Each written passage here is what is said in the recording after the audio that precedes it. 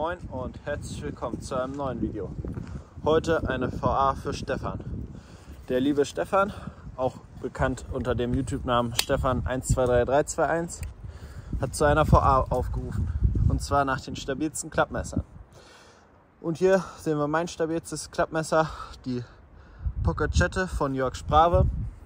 Ich würde sogar behaupten, dass das das stabilste Klappmesser auf dem Markt ist. Aber das hat noch kein Test gezeigt. Aber es ist sicherlich eins der stabilsten. So, dann kommen wir erstmal dazu, äh, zu meiner persönlichen Meinung zu stabilen Klappmessern. Und da möchte ich auch noch ein bisschen was drüber sagen. Und zwar, ich persönlich halte von stabilen Klappmessern eigentlich recht wenig, denn ich habe hier mein stabilstes Klappmesser, das ist nämlich das Fixblade. Weil, jetzt kommt's, jedes Klappmesser, auch dieses hier, hat eine Achse. Und diese Klingenachse ist immer der Knackpunkt. Und ich meine auch, dass ich auch bei diesem Messer, dass ich bei fast allen Messern, wenn ich die so nehme, bam, wenn ich hier drücke ordentlich, die Klingenachse einfach durchbrechen kann. Beziehungsweise das Messer komplett auseinanderreißen kann. Wenn man so in diesem Winkel hier da Kraft einwirkt, seitlich, kann man praktisch jedes Messer einfach so zerbrechen. Bei dem hier ist es relativ schwierig, aber ich jetzt zum Beispiel ein anderes, auch ein stabiles Klappmesser von mir, stelle ich gleich nochmal vor. Das Zero Tolerance äh, 0200, äh, nein, 0562 ist das, meine ich. Ich das jetzt hier so nehme, ich kann das so auseinanderbrechen, gar kein Problem. Ähm, Mache ich natürlich nicht, um es zu beweisen, weil äh, teuer. Ähm, das ist das Ding. Und zwar, Klappmesser sind nie so stabil wie Fixblades. Wenn man ein stabiles Messer braucht, kann man sich einfach ein Fixblade nehmen. Wofür braucht man dann ein Klappmesser? Ähm, dann das Ding, dieses hier besonders stabil durch Tri-Adlock, beziehungsweise nochmal stabiler, dadurch, dass der Bolzen hier, wie sieht man das, sechseckig ist und noch eine höhere Auflagefläche hat. Dazu, wenn man hier reinguckt, extrem große Washer und auch eine extrem dicke Klingenachse. Dann Liner 4 mm Stärke meine ich. Wo das gerade aussieht wie 3, aber ich meine, das sind 4 mm. Der Lock ja auch sehr stabil. Klingendicke sehr stabil. Sehr kurzer Anschliff. Ultra dicke Phase. Ich meine, anderthalb Millimeter dahinter. Also das ist wirklich ultra dick. Normalerweise müsste man hier ein Scandi anlegen und die Phase wegschleifen. So praktisch nicht zu gebrauchen zum Schneiden, aber ultra stabil. Also das Messer kaputt zu kriegen, praktisch unmöglich. So, das wäre erstmal so mein stabilstes. Dann noch mal andere, die ich auch, das ist bei mir in der Sammlung, das halte ich nicht für realistisch nutzbar, äh, vernünftig zu nutzen. Das Zero Tolerance hatte ich ja gerade schon mal gezeigt. Super Handlage, schneidet relativ gut noch, aber auch schon sehr dick hinter der Phase. Mir auch ein bisschen zu dick, muss ich ehrlich sagen. Ähm, ich meine 0,6 mm.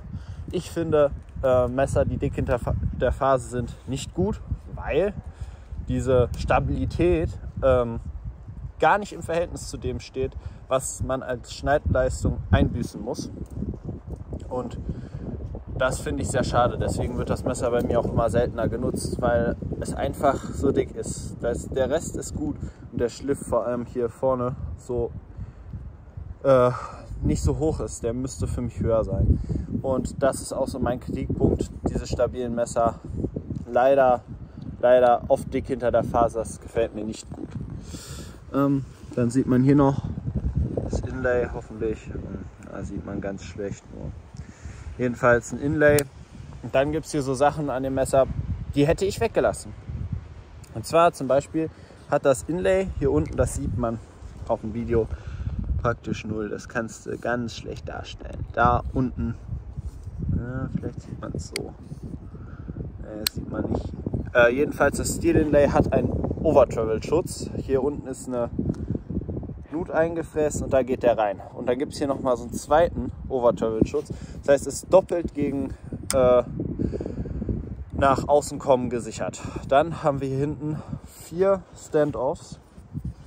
Ich mache mal die Klinge auf, dann sieht man das besser. So, vier Standoffs, Wofür vier Standoffs? Dieser eine hier am Ende hätte gereicht. Maximal hier noch ein zweiter.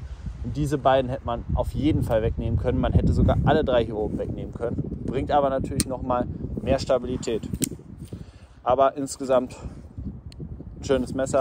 Die Kugellager, sieht man jetzt schlecht, ich meine, das sind sogar Keramikkugellager, ähm, sind äh, sehr schwierig, äh, was Stabilität angeht. Das heißt, da kann es schnell passieren, dass die ähm, durch die geringe Kontaktfläche ähm, sich einarbeiten ins Material und so weiter.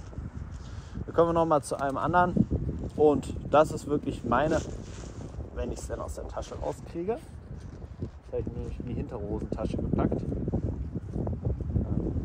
die aber so zu ist. Ich weiß nicht, wie ich das erklären soll, jedenfalls. Ähm, das ist auch meine Empfehlung an euch, wenn ihr euch ein stabiles Klappmesser, ein Einsatzmesser holen wollt. Ähm, Habe ich leider auch praktisch nicht mehr in der Benutzung, weil es auch dick hinter der Phase ist. Ähm, aber ein Hohlschliff hat das Messer, aber ist trotzdem sehr stabil. Stabile Starliner, dann hier ein Linerlock, der aber zusätzlich verriegelt ist. Hier oben haben wir diese Zusatzverriegelung. Habe ich auch schon mal eine Vorstellung zugedreht. Flickt, äh, flippt super. Ähm, dann sieht man hier die Bronzewascher hoffentlich, die verbaut sind. Stabile Klingenachse, absolut stabiles Teil. Sehr gutes Ding. Also das ist wirklich meine Empfehlung. Dann ähm, Stopppins hier auch außenliegend äh, beim Zero Tolerance ist das gleiche. Die Stopppins sind auch eher Anschlagpins als Daumenpins. Hier als Daumenpin auch zu benutzen, aber muss man wissen wie. Man darf die Finger nicht auf dem Fellenbock haben. Hierbei ist es ähnlich. Man kann die Daumenpins benutzen, aber wenn man jetzt mal guckt, die liegen halt genau an. Sind halt Anschlagpins auch. Mit Flipper also meine Empfehlung an euch, wenn ihr euch ein stabiles Klappmesser holen wollt, CRKT M16-M21 ähm, gibt es auch eine kleinere Variante von. Die liegt mir allerdings überhaupt nicht in der Hand wegen dem hinteren Teil. Den haben sie nämlich da auch gemacht und der liegt dann genauso auf dem vierten Finger irgendwie. Ich weiß auch nicht mehr genau, aber äh, liegt mir nicht gut in der Hand. So passen die Finger gerade so rein. Wenn ich den jetzt falsch umnehme, dann drückt es mir auch in den Handballen rein. Aber die Finger, die passen gerade so rein. Also das sind meine äh, stabilsten Klappmesser. Und ich hoffe, es hat euch gefallen. Und damit tschüss.